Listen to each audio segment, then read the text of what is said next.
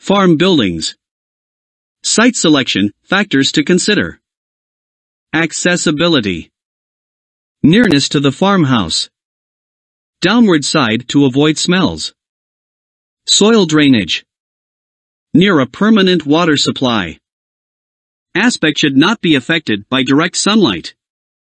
Materials used for farm buildings. 1. Wood. For roofing. For flooring. Siding rails on railway tracks. Advantages of wood. Easy to work on.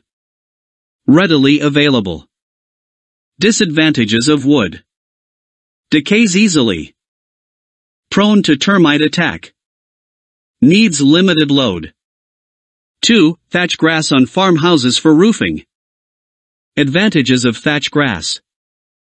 Readily available. Thatch grass has a better insulation properties. Burns easily.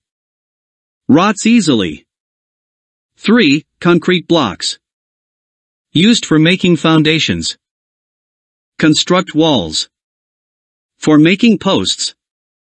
Advantages of concrete blocks. Very strong.